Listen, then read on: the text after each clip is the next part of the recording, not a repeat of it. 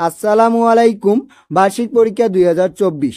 এর জন্য শেষ মুহূর্তের প্রস্তুতি উপলক্ষে আজকে আমি অষ্টম শ্রেণির বাংলা বইয়ের প্রথম অধ্যায় প্রয়োজন বুঝে যোগাযোগ করি। এই অধ্যায়টি সংক্ষিপ্ত প্রশ্নের উত্তর নিয়ে আলোচনা করব। তাহলে চলুন শুরু করা যাক। প্রথমে এক নম্বর প্রশ্নটি হলো, যোগাযোগের উদ্দেশ্য বলতে কি বোঝো? এর উত্তর হচ্ছে, কোনো পরিস্থিতির পরিপ্রেক্ষিতে যে মূল বিষয়টি উপযুক্ত ব্যক্তি বা প্রতিষ্ঠানকে জানাতে হয়, তাই হলো যোগাযোগের উদ্দেশ্য। যেমন, অপরিচিত শিশু পাওয়ার পরিস্থিতিতে সংবাদটি বা তথ্যটি প্রচার করা। পরিস্থিতিটির মূল বিষয়ই হলো, অপরিচিত শিশুর সন্ধান পাওয়ার তথ্যটি প্রচার করা। অর্থাৎ, তথ্যটি প্রচার করা হলো যোগাযোগের উদ্দেশ্য। এরপরের প্রশ্ন হলো, যোগাযোগের প্রাসঙ্গিকতা বুঝিয়ে লেখো। এর উত্তর হচ্ছে, পরিস্থিতি, পরিবেশ বুঝে যৌক্তিকতা রক্ষা করে যোগাযোগ করতে পারাই যোগাযোগের প্রাসঙ্গিকতা। ধরা যাক কোনো একটি আলোচনায় ক্রিকেট নিয়ে কথা হচ্ছে।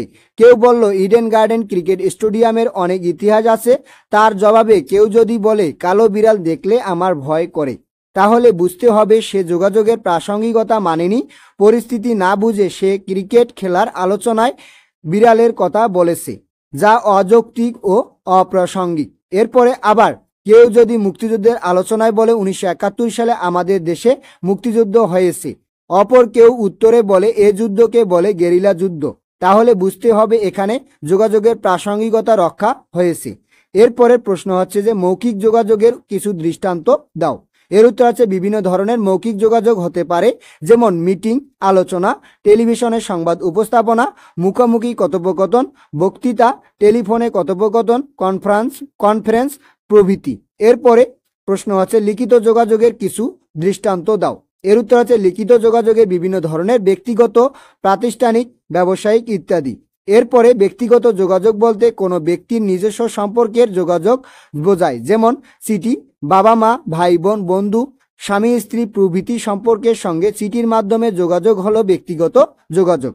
এরপরে প্রাতিষ্ঠানিক যোগাযোগ বলতে কোনো প্রতিষ্ঠানের সঙ্গে নিয়ম মেনে যে লিখিত যোগাযোগ করা হয় তাকে বোঝা।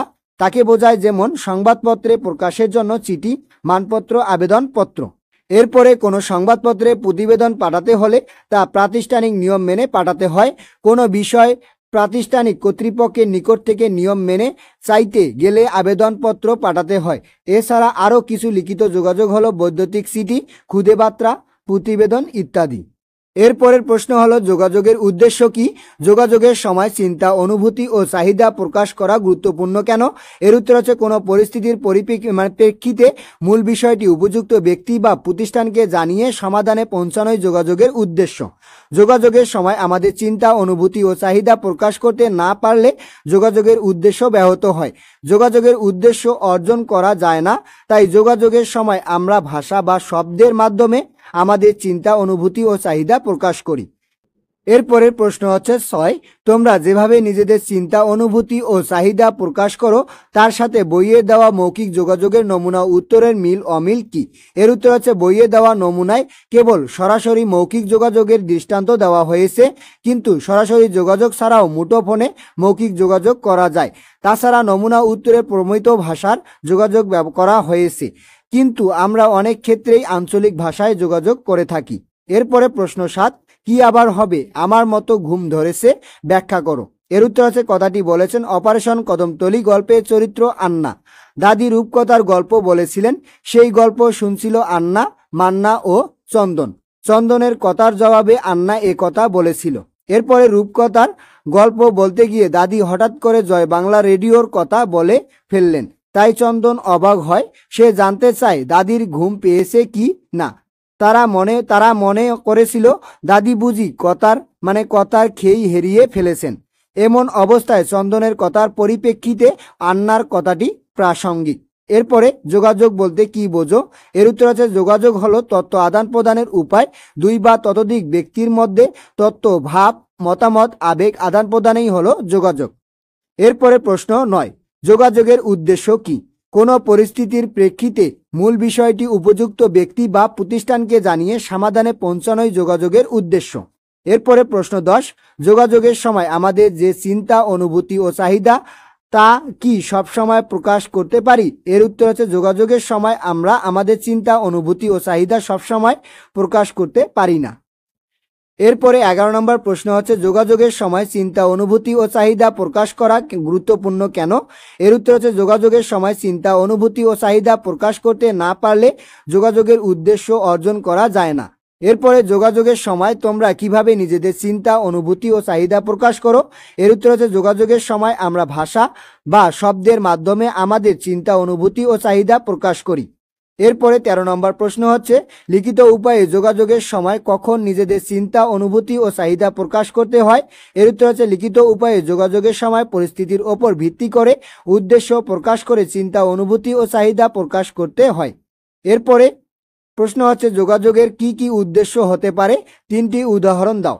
মানুষের প্রয়োজনে বিভিন্ন উপায়ে একে অপরের সাথে যোগাযোগ করে থাকে। নিচে যোগাযোগের তিনটি উদ্দেশ্য দেওয়া হলো।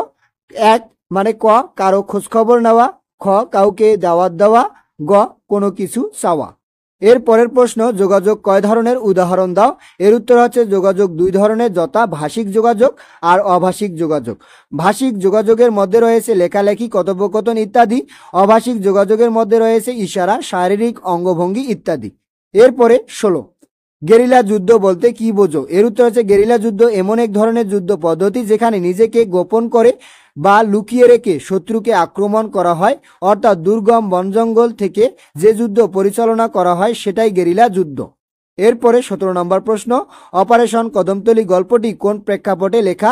এর উত্তর হচ্ছে কথা সাহিত্যিক রাবেয়া খাতুন চরিত্র মানে রচিত অপারেশন কদমতলি গল্পটি মুক্তিযুদ্ধের প্রেক্ষাপটে লেখা। অপারেশন কদমতলি গল্পটিতে মুক্তিযুদ্ধ, মুক্তিযুদ্ধকালীন অনেক ঘটনা তিনি চমৎকারভাবে ফুটিয়ে তুলেছেন। এরপরে প্রশ্ন আঠারো, অপারেশন কদমতলি গল্পে কোন গানের কথা বলা হয়েছে এবং গানটি বাজার উৎস কি? এর উত্তর হচ্ছে, অপারেশন কদমতলি গল্পে মোরা একটি ফুলকে বাঁচাবো বলে যুদ্ধ করি গানটির কথা বলা হয়েছে। যুদ্ধে মুক্তিযোদ্ধাদের উজ্জীবিত করতে এবং সাহস দিতে গানটি স্বাধীন বাংলা বেতার কেন্দ্র থেকে বাঁচছিল এই ছিল এই অধ্যায়ের সংক্ষিপ্ত প্রশ্নের উত্তর। তাহলে আজকে এ পর্যন্তই।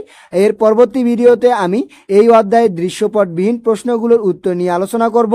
ধন্যবাদ সবাইকে। এতক্ষণ সঙ্গে থাকার জন্য ভিডিওটি ভালো লাগলে লাইক এবং সাবস্ক্রাইব করবেন।